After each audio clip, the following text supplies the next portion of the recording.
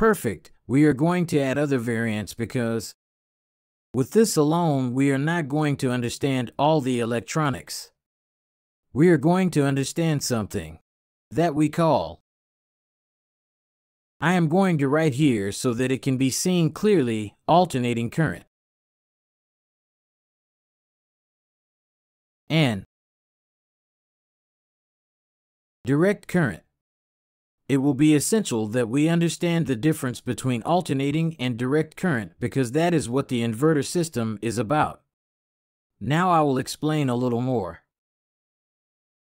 We are going to delete this then. And we will explain what alternating current and direct current are, fundamental details to understand. Any inverter circuit. Well, precisely, inverter, or investor, refers to this process. Actually, any electronic board that they are dealing with, these electronic boards, what they do is convert alternating current. AC into direct current. DC, an inverter circuit to be able to do run. An engine. Instead of directly injecting alternating current as we did in the conventional system, what it will do is convert it into direct current and then convert it back to alternating current. That is, something is converted and that conversion is inverted again, hence its name inverter system. The motor will work with alternating current in both systems in the conventional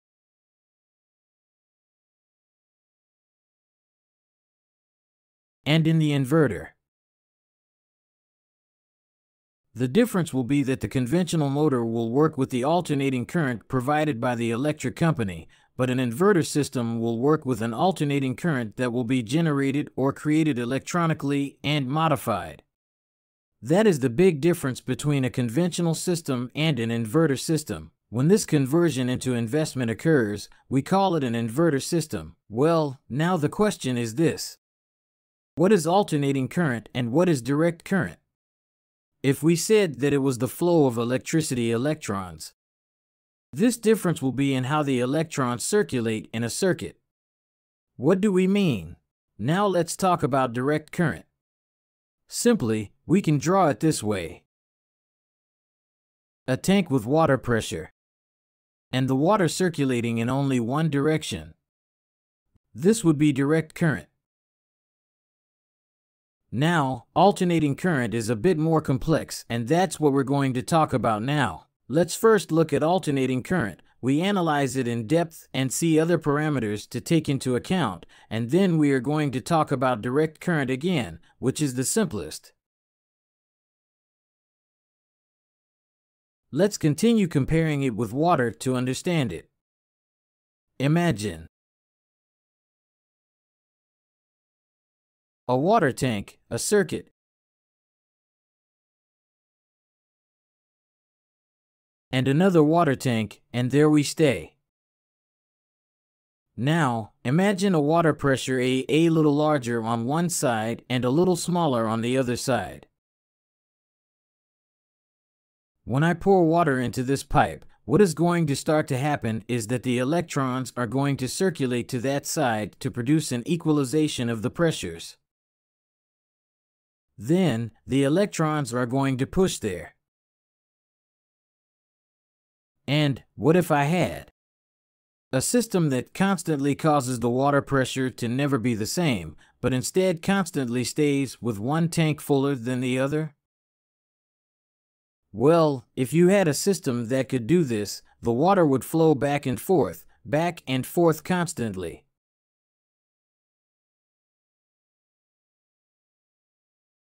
And this is alternating current. So that you understand, this is the electricity that you have in the outlets at home. This would represent the neutral, and this would represent the line. When you plug in a device, one side has more electrons than the other, then there is a circulation of electrons in one direction. Now, the electric company with its motors constantly is just doing that these tanks never equal. It constantly has one more full, the other more full, the other more full, the other more full. So, the electrons are going to go back and forth, back and forth constantly.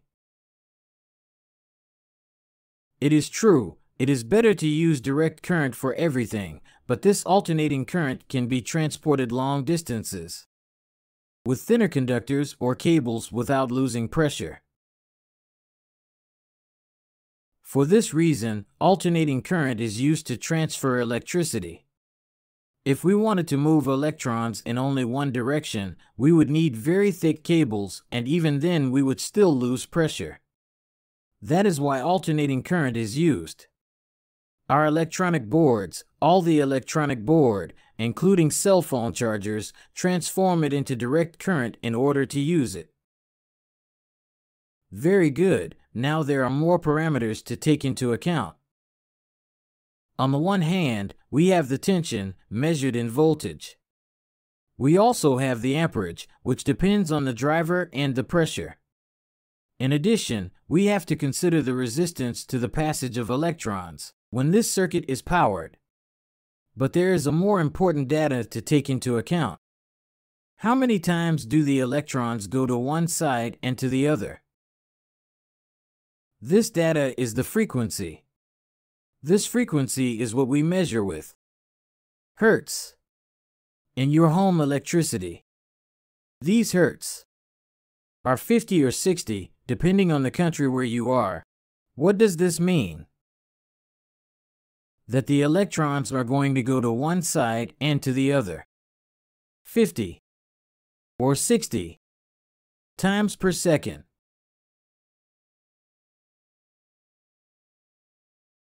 and these times per second are hertz. Now that we understand what alternating current is, we are going to draw it in another way, in a more electronic way, to understand it better. We are going to do a cleaning of our electronic blackboard. And we will draw the electrical conductors. Here we would have the neutral and the line, and here we plug in a circuit in this case. The electrons start to circulate to one side. But in the next moment in time, they would already start to circulate to the other side.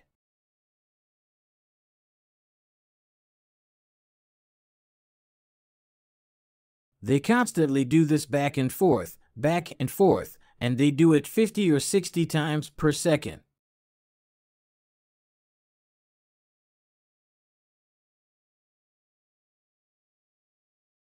This represents alternating current.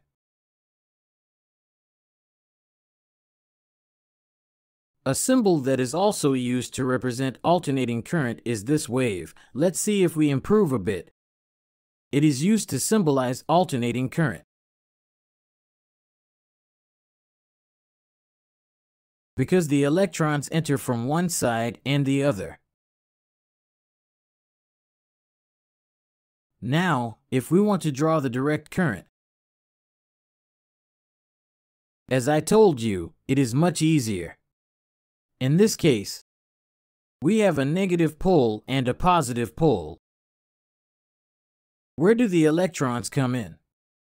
I always ask the same question in live classes. Many times, many answer that it is positive, but no, electrons are the negative charge of an atom and enter through the negative pole.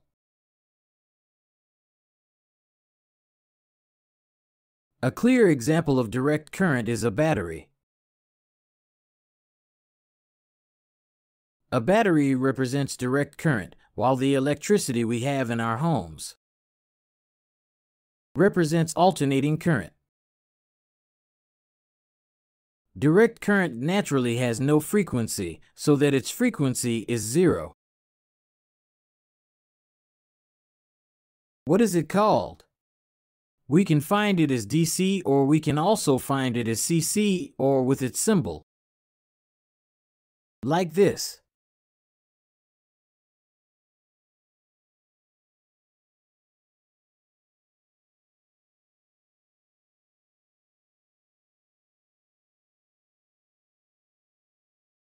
In this case, a question I want to answer, if you have it in your mind is, why doesn't the negative wire electrocute me when I touch it? Let's remember that this negative wire is charged with electrons, and this one has a lack of electrons. My body and the Earth have the same amount of electrons. Then the neutral wire. What does it mean? If I touch the neutral wire and touch the wall, I won't be electrocuted because is neutral. The difference in electrons, the amount of voltage between the wall, the floor, my body, and this neutral wire is the same, therefore no electrons will circulate inside me. On the other hand, if in this case the line, I am electrocuted because there are holes here, that is, there are missing electrons. When I touch the wall or the floor and I touch the line cable, the electrons circulate from the wall towards me and from me towards the line cable, and that is where this circulation of electrons burns me inside and electrocutes me. One detail to keep in mind is that if I am not touching the wall or the floor, if I am insulated with rubber or another insulating material, I can touch the line wire or the neutral wire and neither of them will hurt me. Absolutely nothing, because there will be no circulation of electrons. Now if I touch both at the same time, yes of course I get electrocuted. This explanation is so that you know why the wire charged with electrons does not electrocute me. Let's go ahead. We had said that in electronics we need to convert alternating current into direct current. Yes, every electronic board, to begin with, converts alternating current into direct current. Afterwards, the inverter converts the direct current back to alternating current, but that comes later. The first process.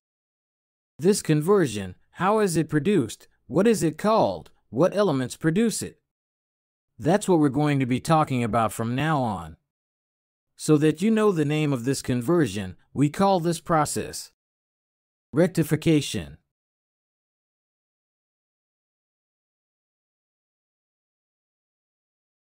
It is the process in which we change alternating current to direct current. We are going to explain how this is produced inside a platelet. Comparing it with water, you will understand it perfectly. Let's move on.